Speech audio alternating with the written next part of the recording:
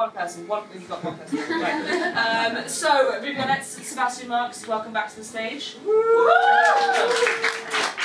one person. I'm gonna tell her my jokes. uh, I, I read that, like people are drinking tonight, right? Like who are drinking? Who, raise your hand if you like alcohol. Uh, if you drink alcohol. Everyone, good. Uh, wonderful. Uh, who, who here tonight uh, smokes pot? Grass, marijuana. Five of us. Okay. Sorry, perhaps it's an awkward question. Um, how many people here tonight uh, have a friend who smokes pot? Oh, friend There you go, a bit more. Uh, I don't know if you know this, but in French language, the word alcohol is a masculine word. And then the French are right because alcohol brings out in us an active, outward, and macho energy.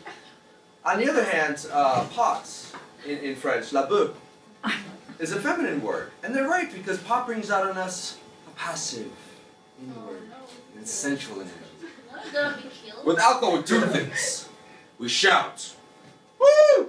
We fight. We vomit. With pot, we just We stare. We listen.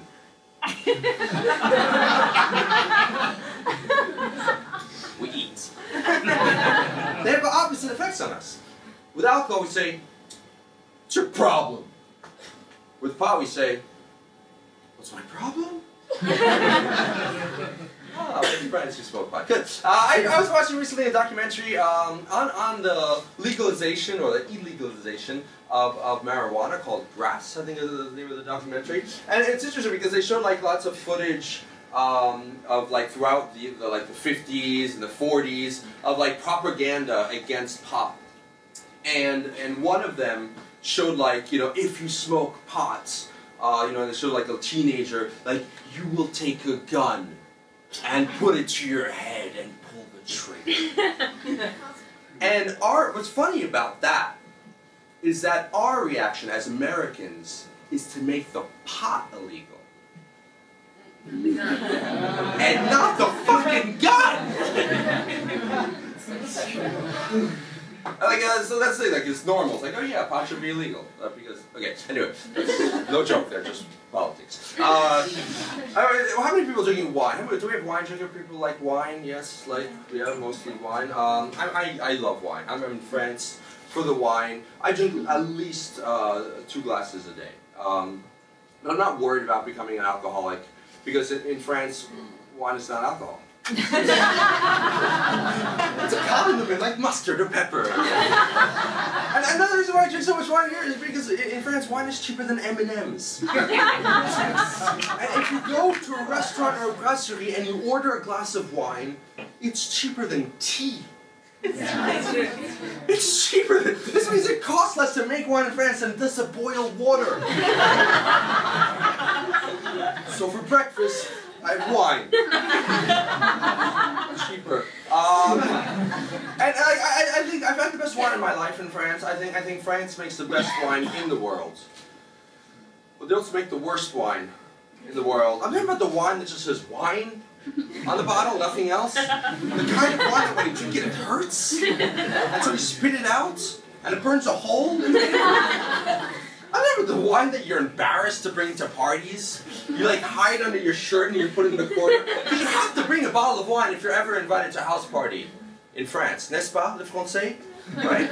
It's your entrance tickets into the party. You can show up with a kilo of cocaine, three strippers, and Iggy Pop. If you do not have a bottle of wine, you're not getting it, okay? The thing is, nobody is bringing good wine to these parties. It's always this awful, awful wine, which is fine. But that means that if you're hosting the party, by the end of the night, you're stuck with like a dozen unopened bottles of shitty wine that you wouldn't put in a boeuf bourguignon for Hitler, okay? you wouldn't wish this wine on anyone. So what do you do with all these unopened bottles of shitty wine? You bring them to other parties.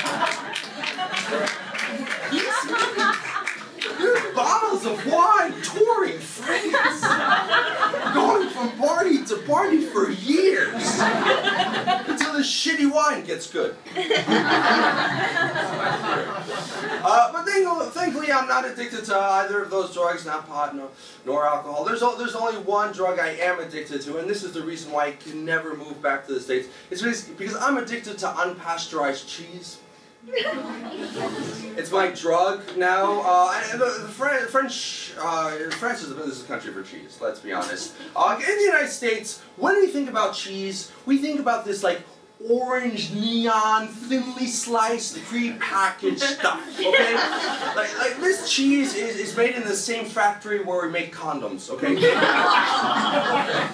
the same odor and texture the package is impossible to open. And,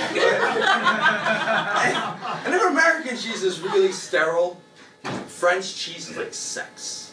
It's raw goes well with wine it's even better when it smells like wild beasts. I discovered, I discovered there's 350 kinds of cheese here. It's insane.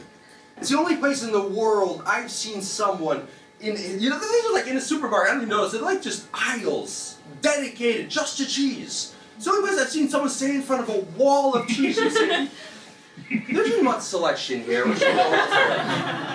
the only place in the, in the world I've seen it. And, and the thing is, like, it's so like I become addicted to unpasteurized cheese now because all the cheese in the states has to be pasteurized. I don't know if you know. And like I, I love every like the, you know the the more you know raw uh, it is, the better it is for me. And and like I realize that like if unpasteurized cheese is my drug, this means France is my dealer. But he's kind of like a small-time street dealer that only has like one option. He's a hardcore, he's like a Scarface kind of dealer. And the kind of you have to go to like a chateau to visit, like knock on a weird door, and like have a password, like affinage or something like that. Be all badass there, sitting on a comfortable couch, know, like have some like strippers probably around him. Once passed out on blue cheese, you got like Roquefort coming out of your nose. Go up to him and say, hey man. Got some Comté?